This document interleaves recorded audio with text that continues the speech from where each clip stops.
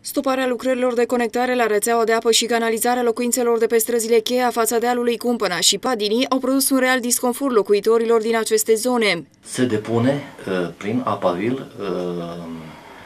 practic a șaptea etapă de revizuire a documentației pentru acest proiect uh, prin uh, programul operațional de infrastructură mare, un proiect uh, cu o valoare de 170 de milioane de euro, în care sunt incluse 36 de localități. Avem convingerea și asigurarea atât a domnului director Florescu de la SCA Pavil, al domnului președinte Șel Adi Apa, care au mers uh, la, la București, la Ministerul Fondurilor Europene uh, și au uh, discutat, este, apreciem ultima etapă în care s-au pus la punct toate detaliile, s-au lămurit toate clarificările, toate detaliile, s-a revizuit documentația și așteptăm cu încredere acceptarea cererii de finanțare, semnarea acestei, acestui contract și, bineînțeles, scoaterea la licitație ulterior pe uh, sectoare pe loturi, pentru că fiind 36 de, de localități, practic va fi o, o licitație pe loturi și uh, în acest sens am discutat ca uh, localitățile unde s-au început lucrările și au rămas nefinalizate, așa cum este cazul și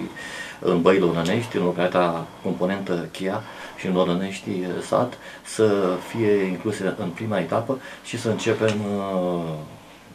continuarea acestora și ulterior modernizarea străzilor care au fost uh, afectate și care creează un disconfort major uh, locuitorilor din, uh, din zonă.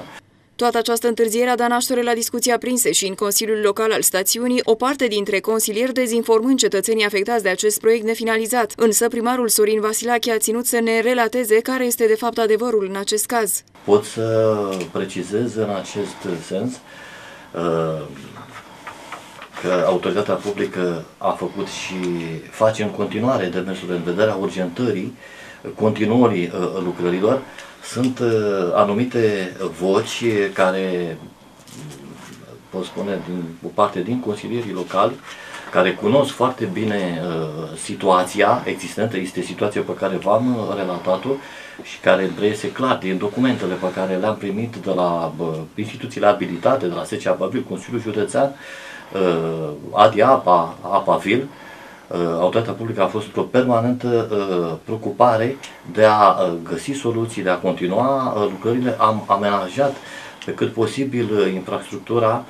uh, străzii pentru a se putea circula în uh, condiții de, de siguranță, dar nu se pot executa lucrări de asfaltare, uh, nu se poate turna un covor asfaltic până nu se finalizează lucrarea de apă uh, și canalizare. Fac în acest timp un apel pentru cei care cunosc foarte bine situația de a nu mai duce în eroare cetățeanul Uh, și anume s-au strâns semnături uh, de a fi de acord cu repararea carosabilului. Uh, păi, vă dați seama, autoritatea, înseamnă că autoritatea publică nu dorește asfaltarea străzii. Este o acțiune, consider, de ducere în,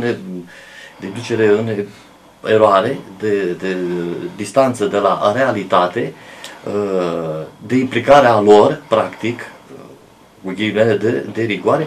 și a